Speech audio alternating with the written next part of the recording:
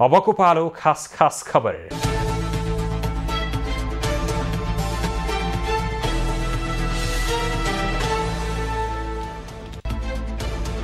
जल तथा मौसम विज्ञान विभाग मौसम पूर्वानुमान महाशाखाले दसैँमा पनि पानी पर्ने सम्भावना रहेको जनाएको छ यसपटक मनसुन बाहिरिने समय र दसैँ एकैपटक परेकाले मनसुन बाहिरिँदा पश्चिमी वायु र स्थानीय वायु प्रभावका कारण हल्कादेखि मध्यम वर्षाको सम्भावना रहेको महाशाखाले जनाएको छ दसैँमा बढी भाडा असुलेको आरोपमा ट्राफिक प्रहरीले काठमाडौँबाट तेह्रजनालाई पक्राउ गरेको छ। पक्राउ पर्नेमा नक्कली टिकट बनाएर यात्रुसँग रकम ठग्ने र निर्धारित भन्दा धेरै भाडा असुल्नेहरू छन्।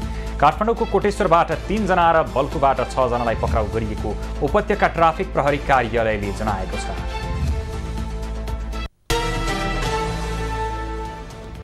एक सातादेखि अवरुद्ध मेची राजमार्ग अन्तर्गत तेहवा खोलामा डाइभर्सन निर्माण गरेर यातायात सञ्चालन गर्ने तयारी भएको छ। बाढीले यहाँको बेली ब्रिज बगाएपछि यातायात अवरुद्ध छ। सडक डिभिजन कार्यालय इलामका अनुसार डाइभर्सन निर्माणका लागि आवश्यक सोह्रवटा हिउँ पाइप प्राप्त गरी शनिबार बिहानैदेखि काम भइरहेको छ।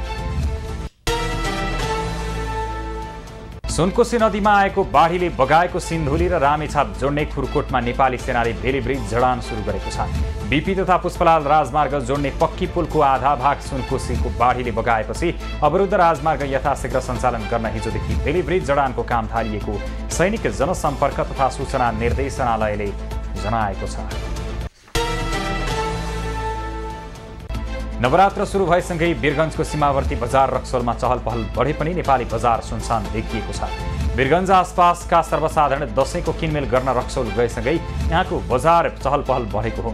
सडक र फुटपाथमा फलफुल जेरी र बच्चाका खेलौना बेच्ने मौसमी व्यापारीको भिडभाड देखिए पनि अन्य सपिङ सेन्टरहरू सुनसान जस्तै देखिएका छन्। दाङको राप्ती गाउँपालिका तिन खुरुरिया स्थित राप्ती नदीको ब्रिज टापुमा खसेका एक बालकको सकुशल उद्धार भएको छ।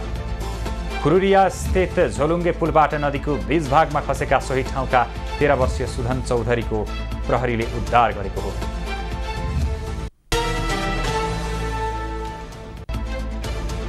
गण्डकीको मुस्ताङ र कर्णाली प्रदेशको डोल्पा जोड्ने सडकको पचहत्तर किलोमिटर मार्ग खुलेको छ।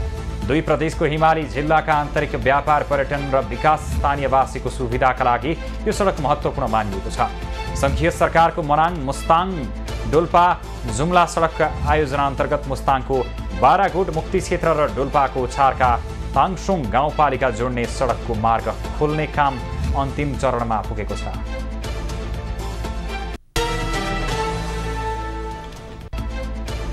ओखलढुङ्गाको रुम्जाटार विमानस्थलमा हवाई उडान पुनः सञ्चालनमा आएको छ। करिब पाँच वर्षपछि आइतबार पुनः उडान सुरु भएको हो।